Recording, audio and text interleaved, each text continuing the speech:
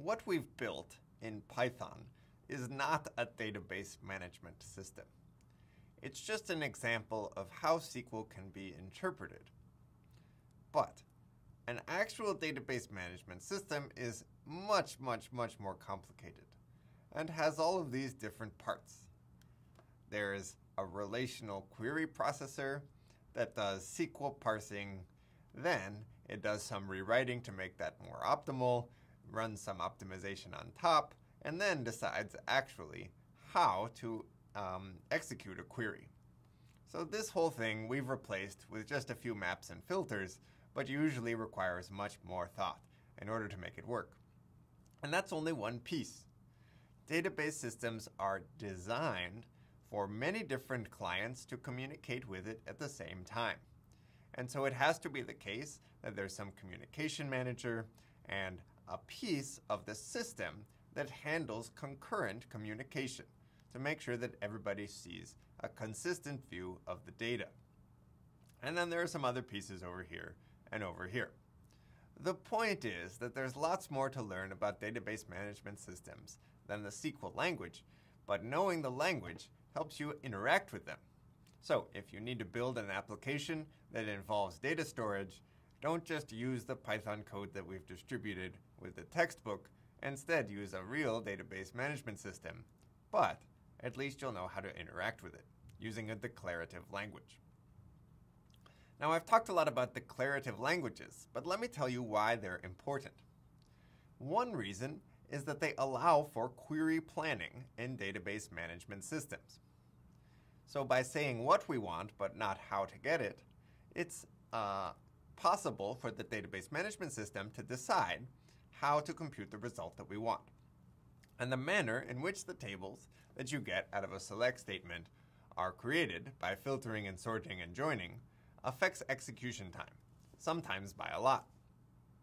So let's take an example of our first join that we ever performed. Select the parents of curly-furred dogs, which is select parent from parents dogs where child equals name and fur equals curly. This SQL statement includes a join, a filtering where we have equality between two different columns, and also a filtering that really only applies to one column, the dog's fur column.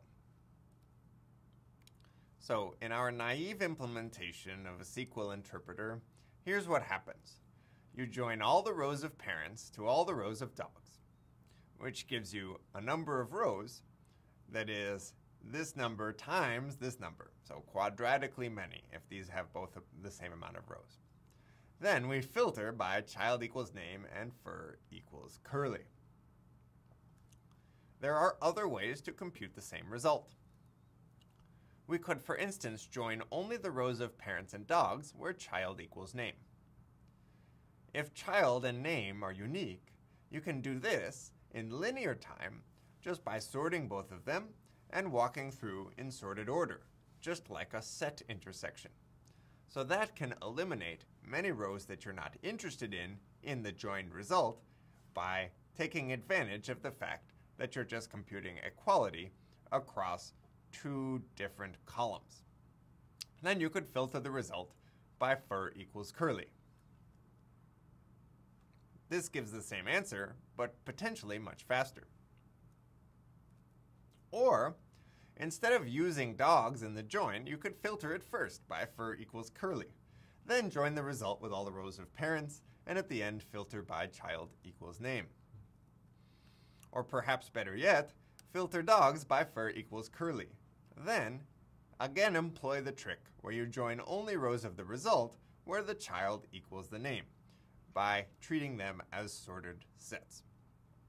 So a query planner in a database management system will consider these options and perhaps many more and decide among all the ways that I could compute the result, which one will probably be the fastest based on what we know about the tables involved. So how long they are, whether uh, elements are unique within a column, all this information is used to make good decisions.